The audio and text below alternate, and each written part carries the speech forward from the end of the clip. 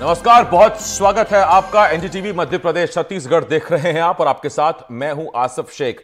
देश में हो रहे लोकसभा चुनाव के तीसरे चरण में आज 11 राज्यों और केंद्र शासित प्रदेशों की कुल तिरानवे सीटों पर मतदान हुआ। छत्तीसगढ़ की कुल 11 सीटों में से सात सीटों पर भी वोट डाले गए। अब तक सड़सठ फ़ीसदी से ज़्यादा मतदान हो चुका है। आज जिन सात सीटों पर वोट डाले गए, उनमें कई दिग्गजों की किस्मत का फैसला हुआ। इसमें रायपुर से ब्रिजमोहन अग्रवाल तो साथ ही विकास उपाध्याय, कोरबा से सरोज पांडे, ज्योत्सना महंत, चिंतामणि महाराज सरगुजा से विजय बघेल दुर्ग से समेत कई प्रत्याशियों की किस्मत ईवीएम में कैद हो गई। और क्या कहता है आज का मतदान, यही जानने की कोशिश करेंगे। खास पैनल हमारे साथ जुड़ेगा, लेकिन उससे पहले देखिए, तस्वीरें जब ईवीएम पैक की जा रही हैं, ईवीएम को बंद किया जा रहा है, सील लगाई जा रही है।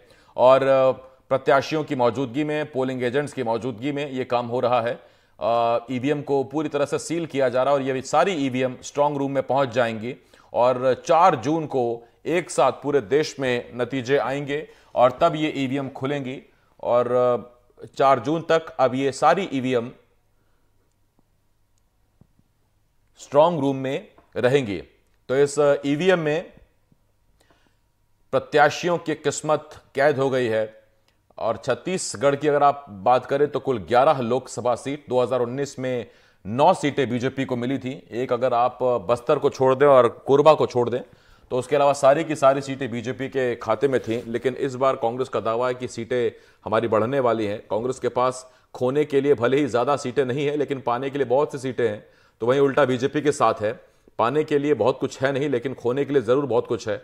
और ईवीएम अब पैक होने लगी हैं। ये देखिए आप तस्वीरें जहाँ सील लग रही हैं, क्योंकि वहाँ वोटिंग पूरी हो चुकी है। नियम यह है, शाम को छः बजे तक जब तक वोटिंग चल रही है, उससे पहले पहले जो भी मतदान केंद्र तक व्यक्ति आ जाएगा प्रेमिसिस में आ जाएगा, उसे वोटिंग का अधिकार ज़रूर होगा। वो वोटिंग दे सकते हैं, फिर वो चाहे वोटिंग आठ बजे चले या नौ बजे तक, लेकिन जिन जिन बूथ पर मतदाता नहीं आ पहुँचे छह बजे के बाद, उन उन बूथों पर ये ईवीएम सीलिंग का काम शुरू हो गया सील कर दी गई है, और अब इन्हें स्ट्रांग रूम पहुँचाया जाएगा। हमारे साथ इस वक्त वरिष्ठ पत्रकार देशदीप सक्सेना जी हमारे साथ जुड़े हुए हैं। मैं एक बार फिर स्वागत करता हूँ आपका, और इसके साथ ही वासु शर्मा जी बीजेपी की तरफ़ से हमारे साथ हमें ज्वाइन कर रहे हैं। वासु जी, आपका भी स्वागत करता हूँ। और देशदीप सर, आपका स्वागत है वासु जी, पहला सवाल आपसे। यही सवाल अब से कुछ देर पहले मैंने मध्य प्रदेश बीजेपी प्रवक्ता से पूछा था और वही सवाल मैं आपसे पूछ रहा हूँ क्योंकि इकहत्तर फ़ीसदी के आसपास वोटिंग हुई थी 2019 में और ये आंकड़ा अभी तक सड़सठ फ़ीसदी है। तो ये चार फ़ीसदी वोटिंग कम क्यों है? आप कहेंगे थोड़ा बढ़ भी सकती है, लेकिन इसे तो और बढ़ जाना चाहिए था। आप कह रहे थे कि 370 वोट हर बूथ पर एक्स्ट्रा पड़ेंगे इस बार। देखिए आसिफ जी जी ये हर बार वोटिंग का प्रतिशत कम होने का मतलब ये नहीं कि सरकार के खिलाफ वोट पड़ा है हम्म। आपने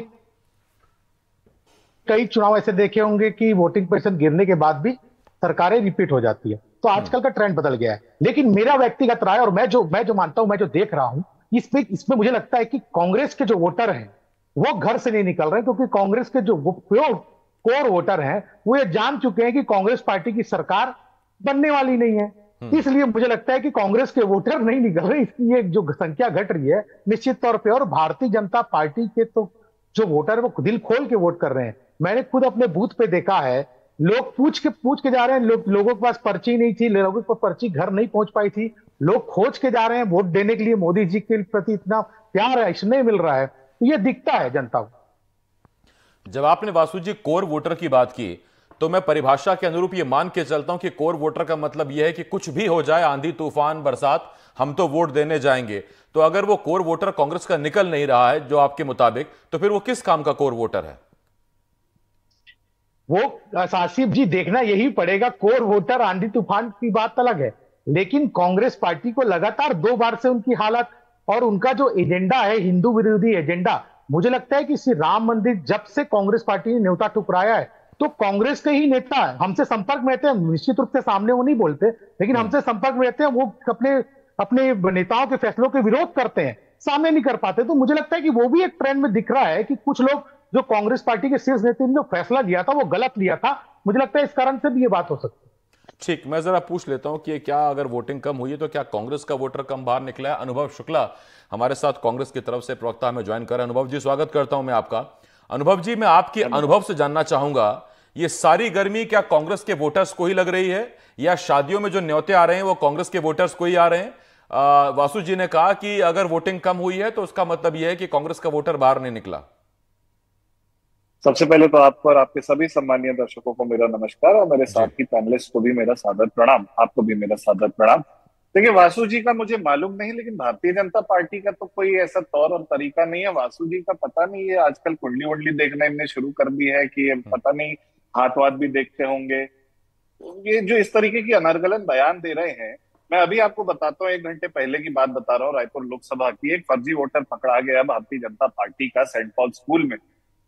इस तरीके की रीति और नीति करने वाली पार्टी इस तरीके की टिप्पणी दे, मुझे लगता है ये उचित नहीं है। अब ये राम मंदिर की भी बात कर रहे थे तो मैं आपके चैनल के माध्यम से वासु शर्मा जी की जानकारी में थोड़ा सा इजाफा करना चाहूँगा कि पीसीसी, उत्तर प्रदेश पीसीसी के अधिक से अधिक कार्यकर्ण जाके राम मंदिर में उनने दर्शन किए और वहाँ से आशीर्वाद लेके भी आए। हमने जो लोग राम मंदिर गए हैं, जिन्होंने डाला है, नहीं डाला है, हमने सबको टिकट दी है। ऐसे तमाम नाम है। कि राम मंदिर को लेके मुझे समझ नहीं आता कि ये अपने आप को क्यों समझ लेते हैं कि इन्हीं के पास है। प्रभु श्री राम सबके होते हैं, जनाब आपके नहीं होते। राम वन गमन पद छत्तीसगढ़ की सरकार, भूपेश बघेल की सरकार ने बनवाया। पंद्रह साल एक पत्थर हिलाया हो तो बता दीजिए राम के नाम पे। एक पत्थर आपसे हिलाया नहीं गया। चंदपुरी माता में कौशल्या माता का मंदिर हमने जीर्णोद्धार कराया राम वन गमन पद हमने बनवाया गोधन न्याय योजना हमने चलाई।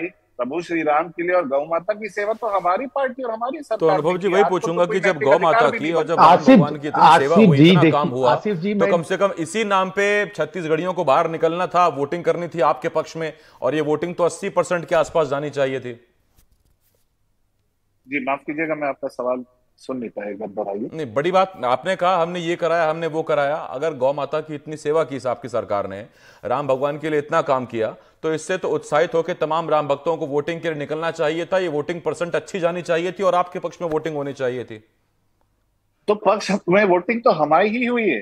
ये जितने वोटर आपको दिख रहे हैं जो कतारें दिख रही हैं आप किसी से भी जाके पूछ लेंगे ना अगर तो आपको यही जवाब मिलेगा कि ये दस साल के कुशासन से, भ्रष्टाचार से और इनके जुमलों से त्रस्त आ चुके हैं, हिंदू मुसलमान की लड़ाई से त्रस्त आ चुके हैं। अब इससे ये मुक्ति चाहते हैं, अब चाहते हैं कि विकास की न्याय की बात हो इस देश में। तो पाँच न्याय और पच्चीस गारंटियाँ कांग्रेस सरकार ने, कांग्रेस की पार्टी ने तय किए हैं, उसके साथ जनता का हित है और जनता उसके साथ जुड़ रही है।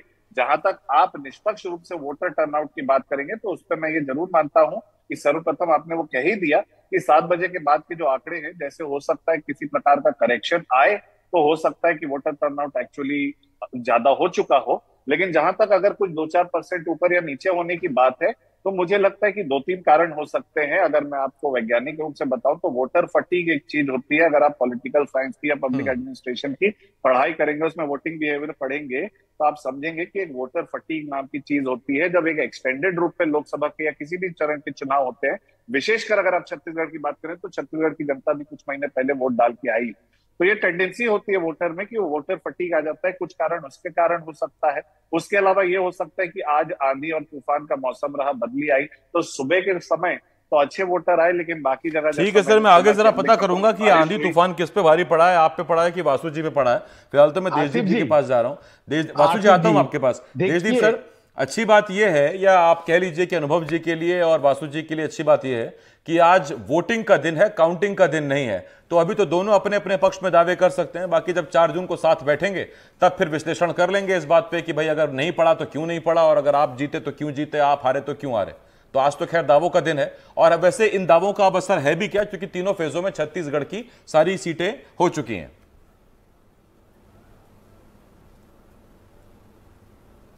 आपकी आखिरी लाइन मेरे को समझ नहीं फिर से दोहराएँगे? लास्ट मैंने कहा सर अब इन दावों का वैसे कोई फ़ायदा भी नहीं क्योंकि छत्तीसगढ़ में तो इलेक्शन वॉर हो गया। तीनों फेजों में सब निकल गई सीटें अब तो।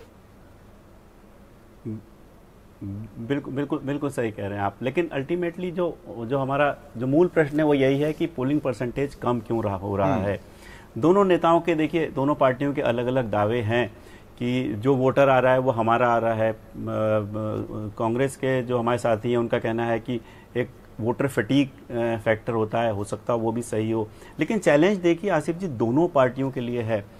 और ख़ास तौर से बीजेपी जिसके जिसके लिए बहुत सारी चीज़ें इट्स स्टेक पे हैं जिसे कहना चाहिए उसको जैसा आपने कहा था कि उनके पास खोने को बहुत कुछ है तो बीजेपी इनफैक्ट ज़्यादा चिंतित है इस बारे में चाहे वो मध्य प्रदेश हो छत्तीसगढ़ हो या देश के बाकी इलाके हों कि पोलिंग परसेंटेज क्यों कम हुआ है।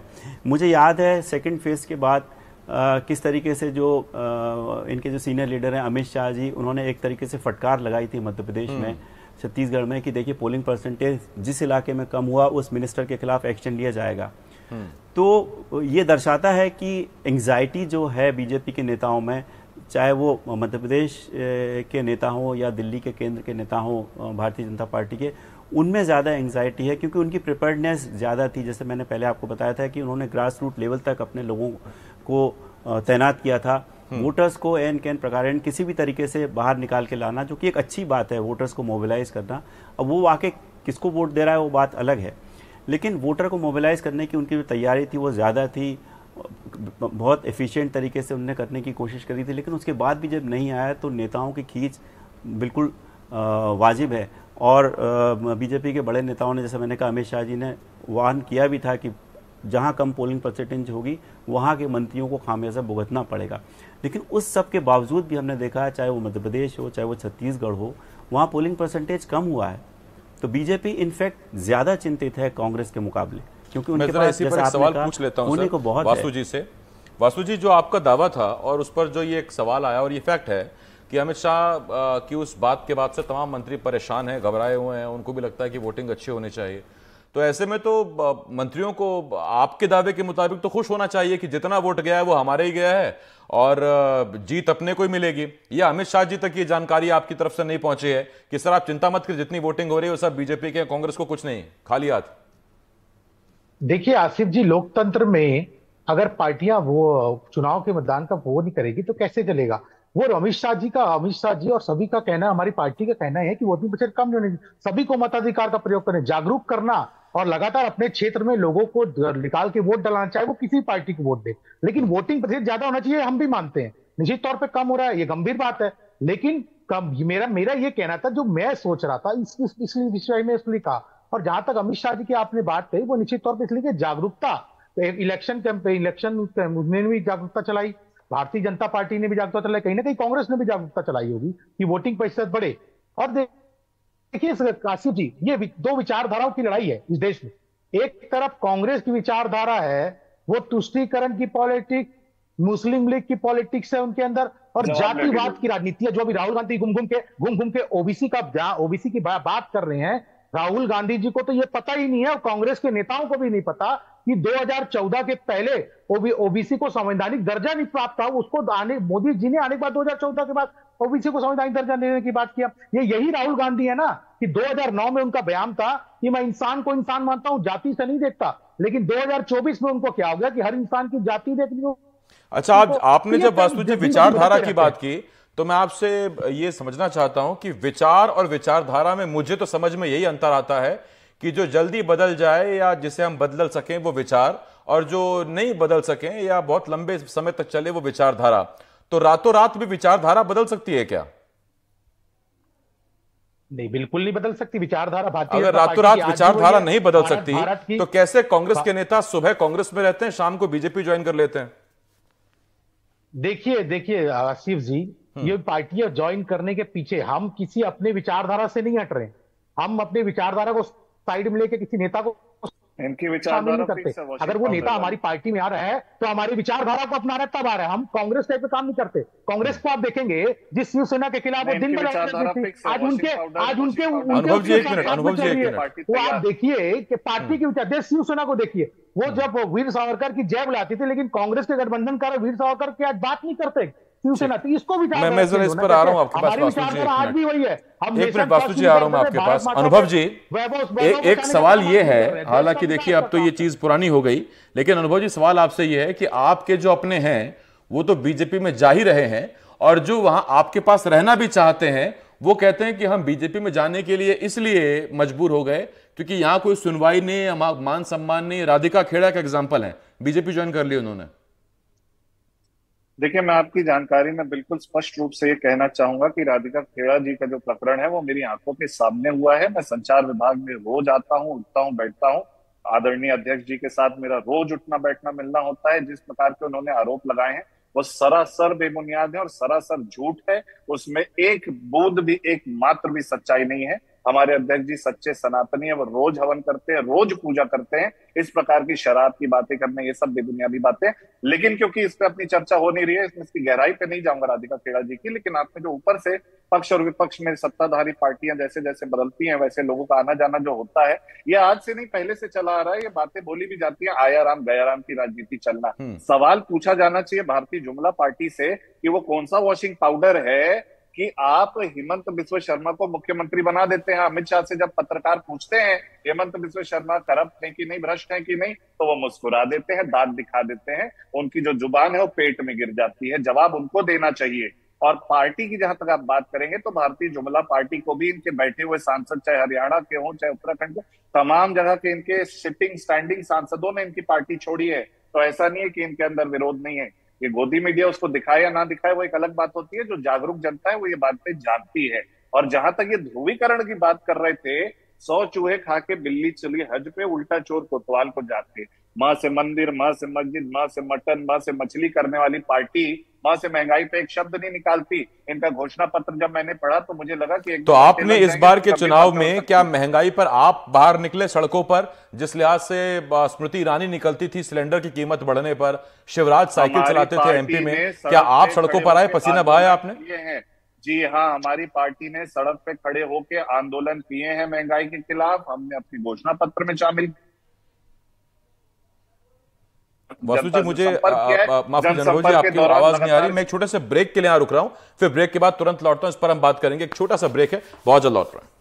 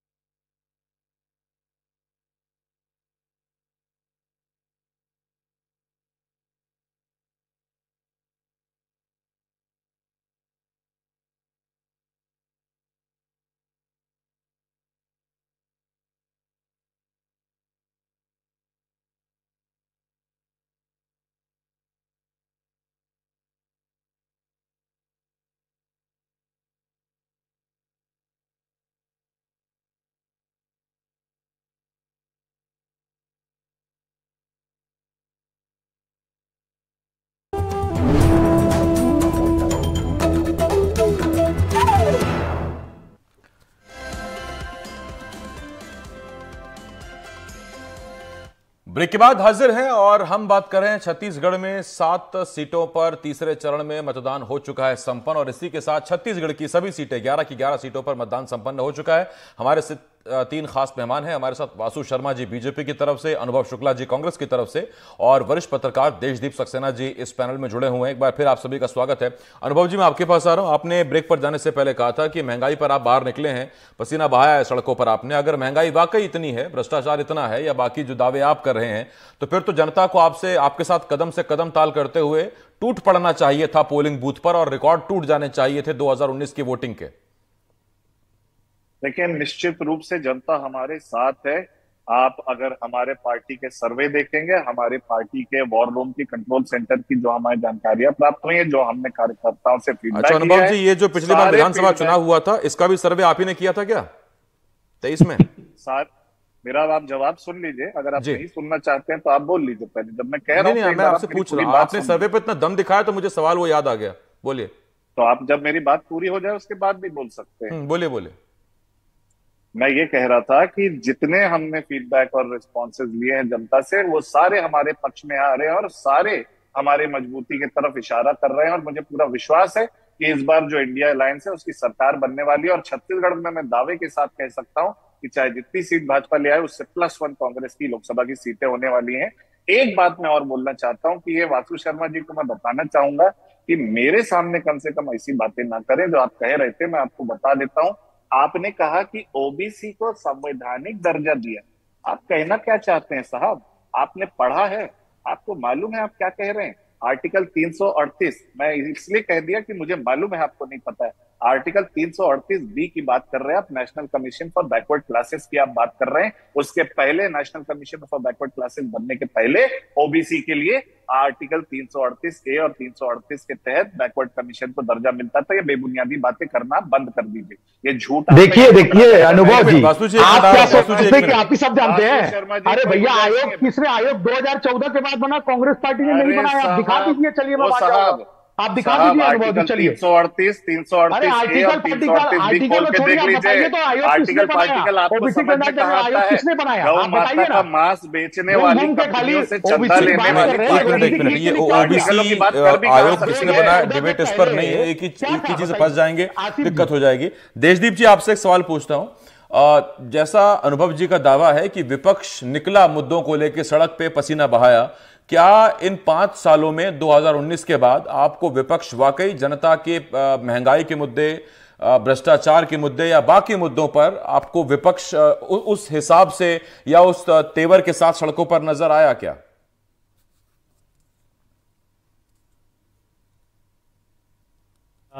निकला तो रहा होगा, या निकला है, या निकला था, लेकिन वो उसकी इंटेंसिटी क्या थी वो देखना पड़ेगा। इंटेंसिटी उसकी उतनी नहीं थी जितनी होनी चाहिए। या हम कहें कि एक विपक्ष के जो तेवर होने चाहिए सड़कों पे जैसे आपने एग्जांपल दिया था कि स्मृति ईरानी जी सिलेंडर लेके बाहर आ जाती थी। तो एक दो अगर हमने प्रोटेस्ट कर लिए वो एक ऐसा लगता है कि फॉर्मेलिटी कर ली है एक जो इंटेंसिटी होती है किसी भी प्रोटेस्ट की जनता के मुद्दों को उठाने की वो ऐसा लगता है कहीं ना कहीं कांग्रेस के पास मिसिंग थी। ये ये ये ये बिल्कुल सत्य है। वो वो उसके कारण जो भी हो, उनके, उनका उनका जो संगठन है, वो पिछले कुछ समय से कुछ कमज़ोर हुआ है, वो भी हो सकता है। रिसोर्सेज की कमी है, ये भी हो सकता है। ऐसे उनके आरोप है कि मीडिया उनका साथ नहीं देता है, वो करते हैं, लेकिन वो दिखाया नहीं जाता है। वो भी शायद सच हो सकता है। लेकिन जो दिखता है, वो ये है कि कांग्रेस इस परिदृश्य से थोड़ी सी नदारत सी दिखाई देती है।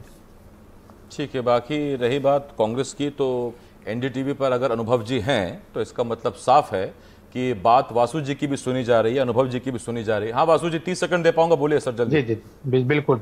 देखिए, हमारे भाई कह रहे थे, आपको कर्नाटक, ये अगर कर्नाटक को ही देख लेंगे तो इनके ओबीसी का चेहरा इनके सामने आ जाएगा।